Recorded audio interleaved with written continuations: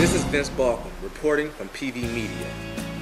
Welcome to Comm Week. Leaders in the broadcast industry have traveled across the nation here to Prairie View A&M University.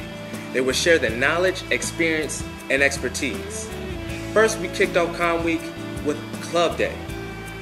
Jazzy Black reports on the event. Hey everybody, it's Jazzy Black here in Hilliard Hall for the start of Club Have everybody out here, KPVU TV station, PVU No Radio, NABJ. We have the New Communication Honor Society. It's all going down right here, so you guys stay tuned.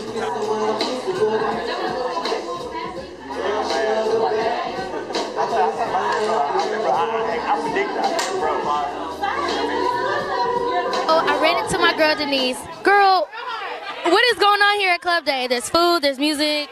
Yeah, so pretty much um, all the communication majors got together. We're just having fun, networking, getting to know some of the freshmen, um, just kind of chilling, relaxing. We got cake, juice, punch, so we kind of just chilling right now, having a good time. Yes, and I know you loving to sing because I'm feeling the vibes right now. Yes, most definitely. Everybody over there dancing. It's just cool vibes. I love it.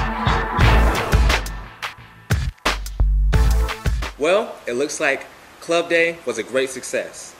Thanks, Jazzy Black, for the wonderful report.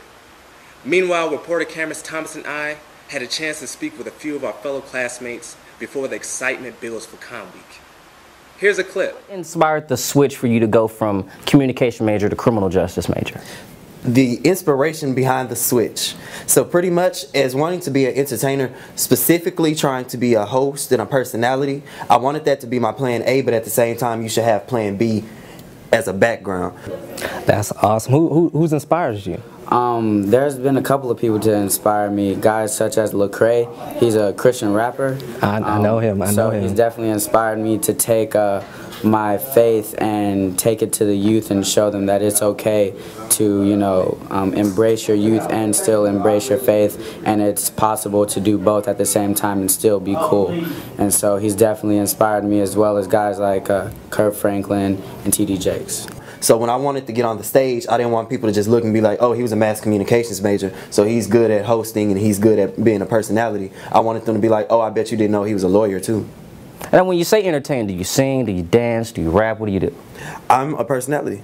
A per- get, show me some personality. I am a personality. I Show me like some I show it personality. all the time because I'm already. it just oozes out of your pores? It just, it just comes out. People can read it when they see it. They just read it. What, did you see any Super Bowl commercials yesterday that just made you say yes? Honestly, I was delivering customer service all day yesterday. I didn't get to see anything. oh, where do you? Who do you deliver for? I deliver for Pizza Hut. Oh, I'll it's sure to- not as bad as it sounds. I'll sure to be. I'll be sure to make a call.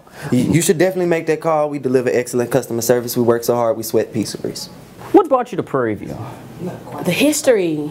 You know, we have such rich history at Prairie View, and a lot of people forget about that. Um, you know, besides being one of the first colleges, you know, black colleges that's ever founded, Prairie View has a lot of rich history.